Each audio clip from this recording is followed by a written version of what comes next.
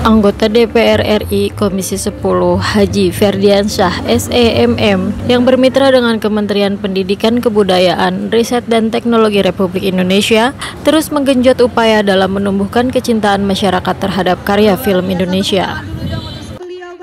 Kali ini, Kang Ferdi, sapaan akrab Ferdiansyah, bersama Kemendikbudristek menggelar penayangan film Indonesia yang berjudul Mencuri Raden Saleh di Desa Raja Datu, Kecamatan Cineam, Kabupaten Tasikmalaya pada Jumat 9 Februari 2024 malam. Hadir dalam kesempatan tersebut, Kepala Desa Raja Datu bersama perangkat desa lainnya Film yang termasuk box office dengan jumlah penonton lebih dari 5 juta ini berhasil memikat ratusan masyarakat yang hadir.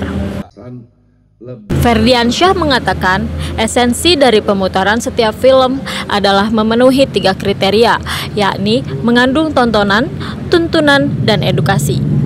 Yang menarik, jadi ternyata hubungan antara ayah dan bap anaknya itu ada kesamaan. Nah, cuma di sini yang pesannya adalah perlunya keterbukaan antara anak dan bapaknya. Jadi sekali lagi ini menjadi edukasi bagi kita semua perlunya keterbukaan hubungan keluarga antara orang tua dan anaknya. Itu yang menjadi catatan kita bersama. Yang kedua yang juga menjadi catatan adalah ternyata dalam kehidupan ini perlu kecermatan dan kehati-hatian jangan sampai kita dijebak oleh orang. Nah, oleh karena itu menjadi prinsip dalam kehidupan adalah kita juga harus punya komitmen dan konsisten apa yang kita lakukan. Jangan terlalu percaya sama orang karena itu juga dipesan daripada uh, film ini.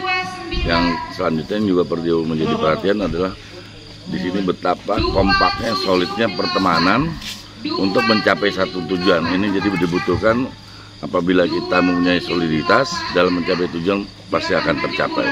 Itu jadi pesan-pesan dan yang tentu yang terakhir adalah tetap pesan promosi kepada cinta film Indonesia. Nah, dan yang menarik eh, mencuri Raden Saleh ini adalah film termasuk box office yang kalau tidak salah dengar telah mencapai lebih dari 5,6 juta yang menonton.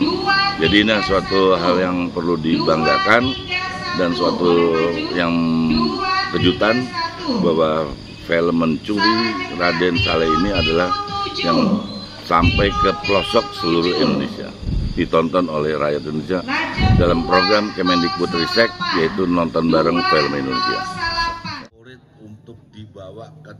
Selain melakukan pemutaran film tersebut, ada pula sejumlah door prize yang dibagikan kepada masyarakat berupa alat elektronik seperti setrika, blender, Magicom, kompor gas, dan puluhan paket sembako. Anggota Badan Legislasi DPR RI, Tim Liputan Kepol TV mengabarkan. Sekretaris Golkar Inst